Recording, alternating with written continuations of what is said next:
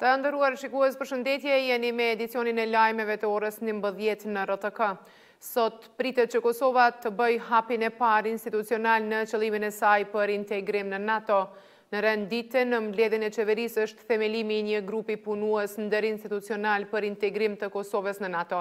Ndër pikat e rendit të ditës shqyrtohet edhe propozim vendimi për pezullimin e përkohshëm të regjimit të vizave hyrëse ndaj shtetasve të Ukrainës. Po ashtu pritet edhe propozimi i kandidatëve për kryetar dhe anëtarë të bordit të organit shqyrtues të prokurimit dhe autoritetit kosovar të konkurrencës. Qeveria e Kosovës ndërkohë ka miratuar programin kombëtar për zbatimin e MSA-së për vitin dy mijë e njëzet e dy, dy mijë e njëzet e gjashtë. Në ditën e katërmbëdhjetë të sulmit rus në Ukrainë është kryer edhe evakuimi i parë i suksesshëm pasi Rusia ra dakord t'i ndalonte sulmet ndërsa pritet edhe hapja e shumë korridoreve të tjera humanitare.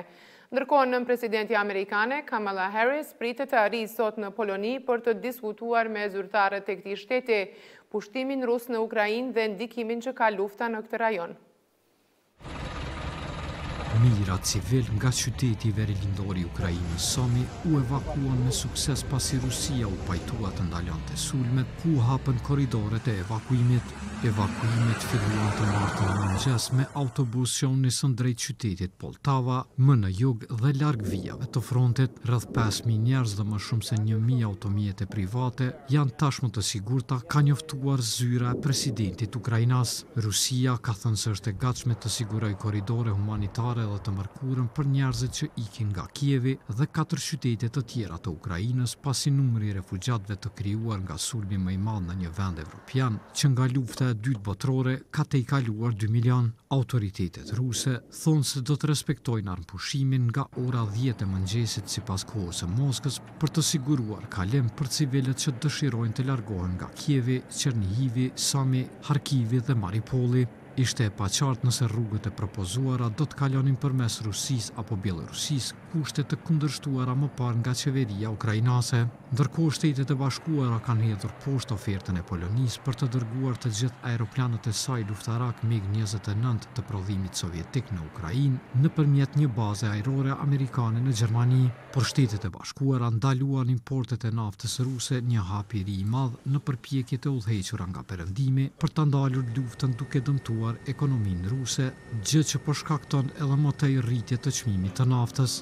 Ato tani janë ngritur në më shumë se tridhjetë për qind që kur Rusia, që është eksportuesi i dytë më i madh në botë i naftës së papërpunuar, sulmoi fqinjin e saj më njëzet e katër shkurt. Pavarësisht kostos së shtrëjtimit të naftës, presidenti amerikan Joe Biden ka thënë se homologu i tij rus Vladimir Putin duhet të përballet me pasojat për sulmin.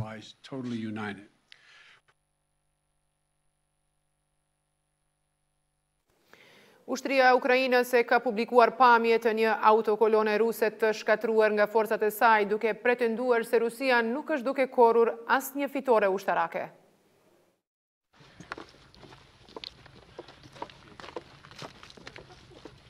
Një video e publikuar nga forcat tokësore të Ukrainës të martën tregon automjete ruse të shkatërruara në rajonin Sumi.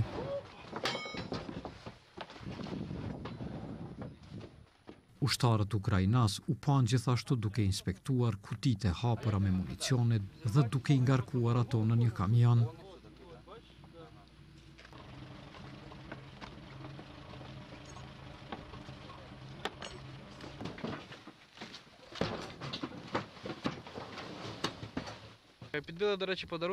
Ne e goditëm konvojin falë dhuratave nga madhëria e saj mbretëresha, na jepni më shumë lodra si këto dhe do të ketë më shumë tanke të shkatërruara, edhe civilët i kërkojnë ato por ne nuk mund t'ua japim çdo ukrainasi edhe pse do të donim.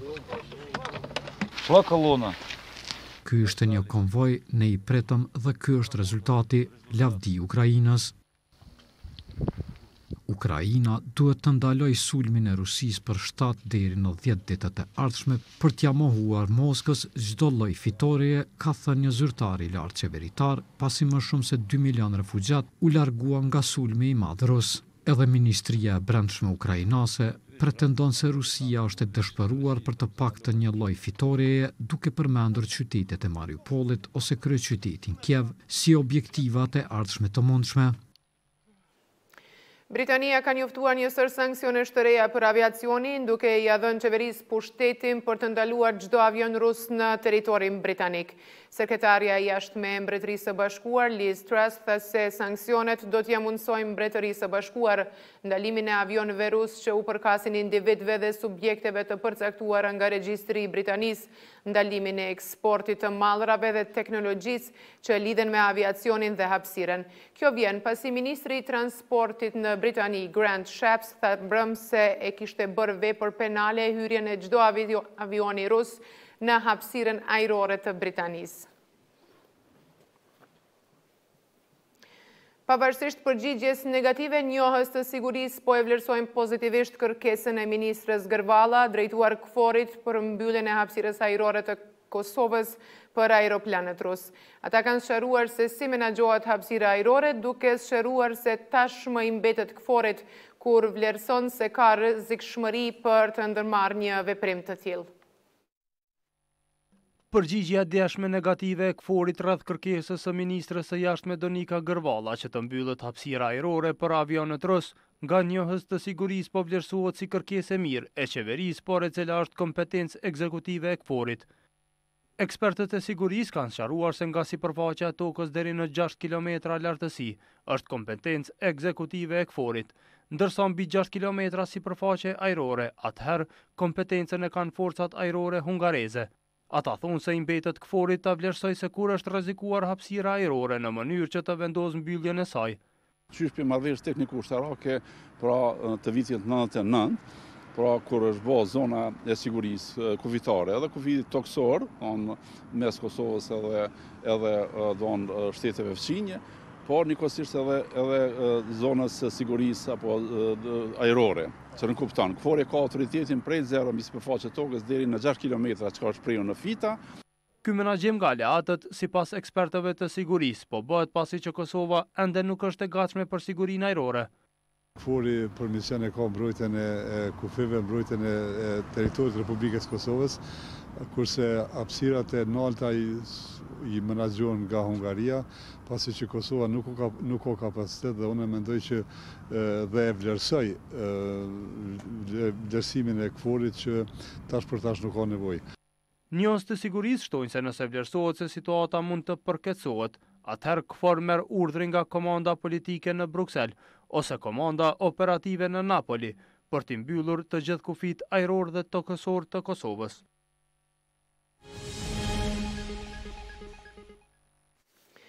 Ka ndërruar jetë në moshën gjashtëdhjetë e pesë vjeçare ish-kryetari shumëvjeçar i Istogut, Haki Rugova. Bëhet e ditur se Rugova ka ndërruar jetë papritmas mëngjesin e sotëm.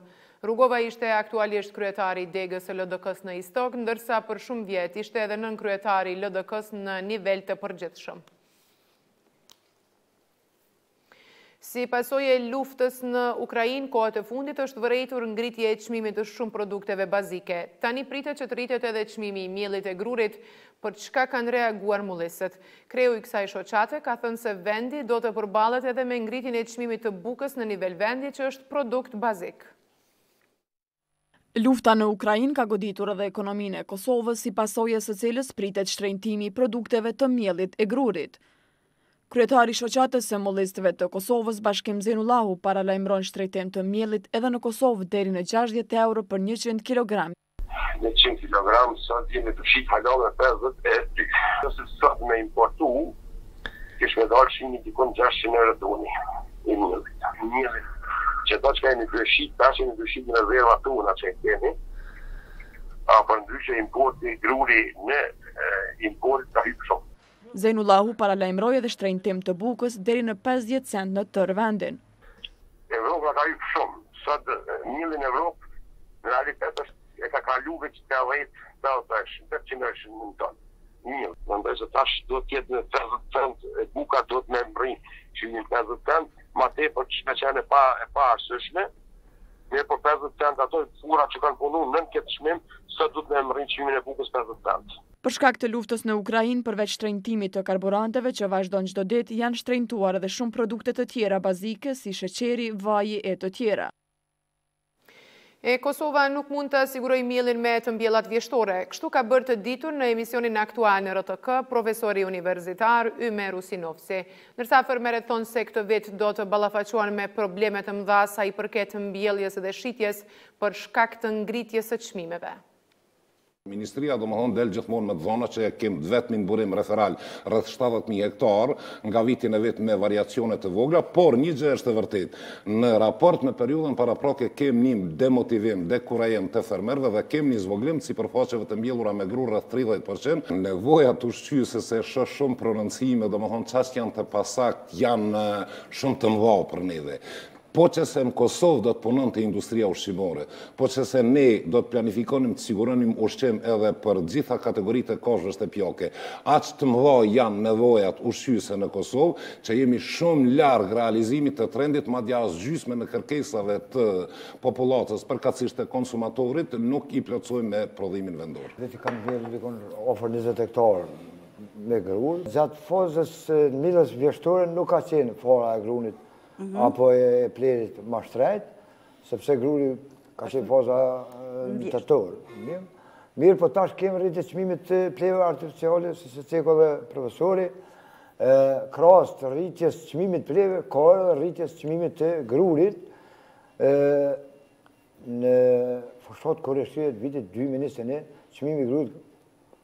Ka varju prej gjashtëmbëdhjetë cent deri tetëmbëdhjetë cent, kurse sot rrinë në tetëmbëdhjetë, në dyzet, katërmbëdhjetë cent.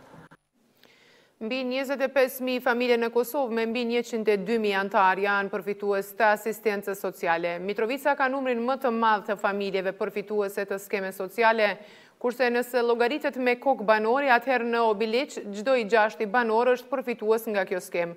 Shkaku i pandemisë, ky numër është rritur. Në gjendje të rëndë jeton familja nëntanëtareshe Bekteshi nga fshati Gllogovicë të Prishtinës. Kryefamiljari Smajl Bekteshi numëron nevojat që ka familja e tij e të cilat nuk mund t'i plotësojë.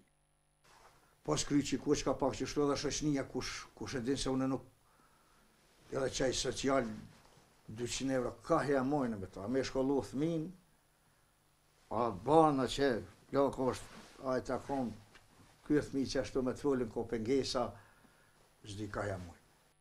Numri i familjeve që janë të varur nga ndihmat sociale ka njëzet vjet që mbetet i lartë.